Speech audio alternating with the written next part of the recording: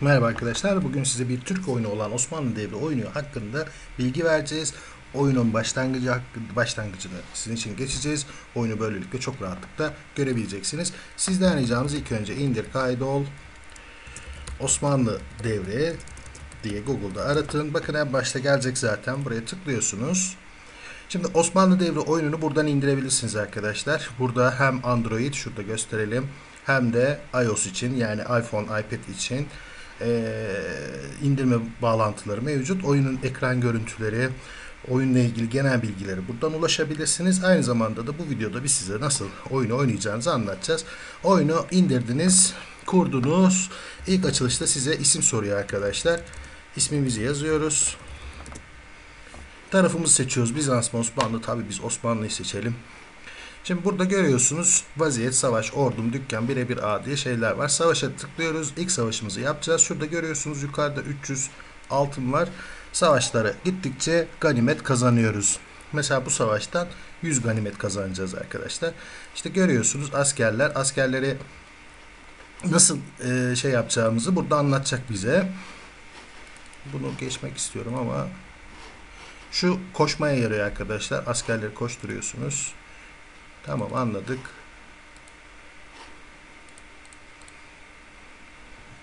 Oyunun bu kısmı tabi biraz şey olmuş. Tamam. Şimdi dördünü birden tık, e, iki kez tıkladığım zaman bir tanesinin üstüne dördünü birden seçiyor. Şimdi yolu temizle diyor. Temizleyelim. Buna saldıracağız.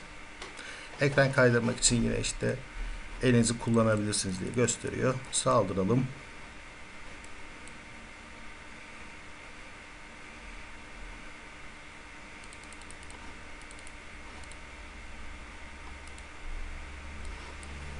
İleride mesela savunma e, görevleri de var arkadaşlar. O görevleri de yapıyorsunuz. Oyunlar zaten, oyun zaten tamamen görevler üzerine kurulu. O görevleri yapmaya çalışıyoruz.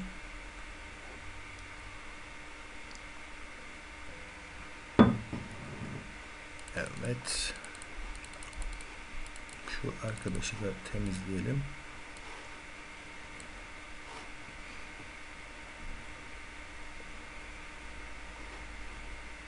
Evet gördüğünüz gibi birinci bölümü geçtik.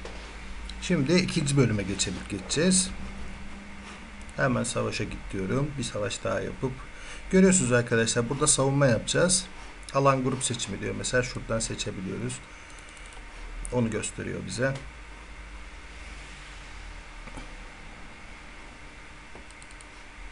Tamam diyelim. Onu nasıl yapıyoruz? Şunda şöyle seçebiliyoruz. Çadırları koruyacağız arkadaşlar. Çadırları korumak için gördüğünüz gibi çadırların biraz yakınında duruyoruz. Şu gördüğünüz e, ocaklar arkadaşlar askerleri iyileştiriyor. Unutmayın. Şimdi saldırı başlayacak. Askerler gelecek.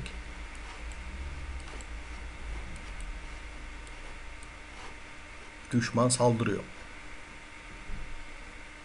Oyun yani basit gelebilir ama e, bize zevkli bir oyun. Yani strateji oyunu. Biraz kafa çalıştırıyor. O anlamda zevkli bir oyun. E, ilerleyen şeylerde de oldukça zorlaşıyor. Hani görevleri yapmak. Şimdi bakın bunları seçtim. Şu ocağın yanına götüreyim. Bunları da yine aynı şekilde seçelim. Ve iyileşiyorlar gördüğünüz gibi. Buradakiler de bakın iyileştiler. Tabi bu ilk seviyeler olduğu için gayet kolay arkadaşlar ama ilerleyen seviyelerde o kadar kolay olmayacak bu işler. Çorba kazanı diyor ki iyileştirir. Hemen çorba kazanının yanına gidelim. Buraya hemen dönelim. Evet. İleride farklı farklı askerler de gelecek arkadaşlar. O askerleri de işte okçudur şeydir. Onları da kullanmayı e, dikkatli kullanmayı öğrenmeniz gerekiyor.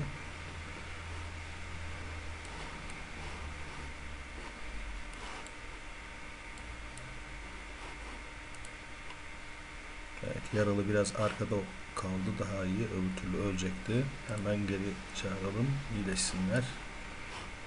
Buradakileri de hemen geri çağıralım iyileşsinler. Zaten bir iki saldırı daha kaldı galiba arkadaşlar. Ondan sonra bu görevi de yapmış olacağız. Tabii dediğimiz gibi oyunun başında bu görevler oldukça kolay. Daha sonra zorlaşıyor.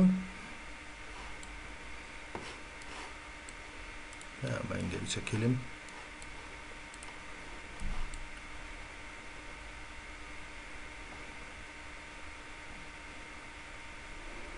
Ee, Osmanlı Devri tamamen Türk yapımı bir oyun arkadaşlar.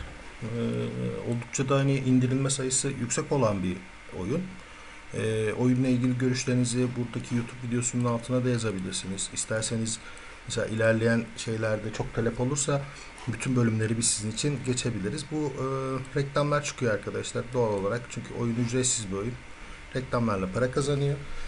Ee, oyun böyle arkadaşlar. İleride ordumda işte askerlerinize görüyorsunuz, geliştirmeler alıyorsunuz. İşte yeni askerler açılıyor gördüğünüz gibi. Mesela Kemankeş var, Serdengeçli var, Tatar var, Tarkan var, Mancınık var, Top var. Ve bunlara da upgrade'ler alıyorsunuz ya da geliştirme diyelim. Türkçe konuşalım. Geliştirmeler alıyorsunuz. Bu geliştirmelerle askerler daha da güçleniyor. Görüyorsunuz mesela dirayeti ve vuruşu artıyor. Maliyeti bu kadar. Hani altınınızı o yüzden dikkatli harcamanızda fayda var. Ee, oyunla ilgili eğer işte dediğimiz gibi zorlanırsanız arkadaşlar bununla ilgili e, ilerleyen şeyde mesela geçemediğiniz bölümler falan filan olursa olmadı biz bütün bölümleri geçip size taktikleri de verebiliriz ama bu tabii ki e, sizlerin isteğine bağlı. Başka bir indirkay.com yardım videosunda görüşmek üzere. Hoşçakalın.